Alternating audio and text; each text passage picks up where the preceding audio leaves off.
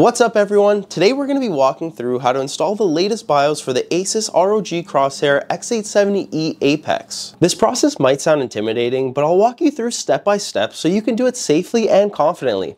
Let's get started. Before we download anything, we need to know the exact make and model of your motherboard. On Windows, press the Windows key and type in system information. Open it up and under system summary, look for baseboard manufacturer and baseboard product. That's your motherboard's brand and model. For example, it might say Asus ROG Strix B550F or MSI Mag B650 Tomahawk, whatever it is, write it down because we'll need to find out the correct BIOS file for it. Next, you're gonna wanna go on Google and put that exact motherboard make and model into the search and it's usually the first link that you'll have to click. Now that you're on the motherboard's website, you're want to click the support page. Once you're on the support page, look for a section called Drivers and BIOS or Firmware. Here you'll see a list of BIOS versions available. My suggestion is to always go with the latest stable release and try to avoid beta BIOS unless you absolutely need one of the features from it. Step number three, you're going to want to go ahead and download the BIOS file and unzip it. Most manufacturers will give you a single cap file or a bin file. If you're on Asus, you might also see a BIOS renamer tool. Make sure to run that so the file name is in the correct format or your motherboard won't recognize it. For step number four, you're going to want to go ahead and grab yourself a USB USB drive. We're going to go ahead and format to FAT32 using disk management. You will need a USB drive, which is at least 4 gigabytes or larger. Here's how you're going to format the USB so it's eligible for the BIOS update. First, press the Windows key and type in Format. Click on the Create and Format Hard Disk Partitions. This will open up Disk Manager. In the list, find your USB drive, right-click it, and choose Format. For File System, select FAT32. You can leave everything as default and just click OK, next, next, next, until you're done. Just as a brief warning, this will erase everything on your drive, so make sure you back up anything that you need or any important files, photos, anything like that.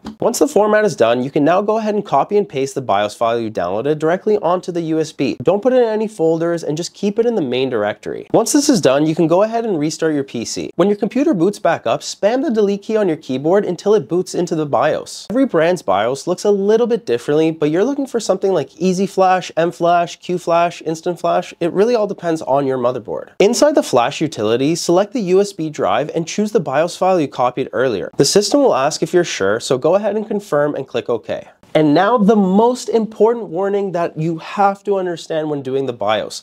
Do not turn off your computer during this update. If you lose power or shut down, you risk breaking your motherboard. So make sure your PC is stable and connected to a reliable power source. Definitely don't do this when there's a thunderstorm outside. After 5 to 10 long minutes, your PC will automatically restart. It'll go back into the BIOS itself and double check that the version number matches the one you downloaded. If it does, Congratulations, you've successfully updated your BIOS and now you can continue using your PC. Usually BIOS updates help fix most PC problems. I've seen everything from freezes, restarts, everything. Update your BIOS. And that's it. You've updated your BIOS. Congratulations. I hope this video was helpful. Just to let you know about PCs, we do build the highest end, best custom gaming PCs here in Canada. Check it out on our website, gamertech.ca. And thank you guys so much for watching. Please leave us a like, subscribe, and I'll see you guys in the next video.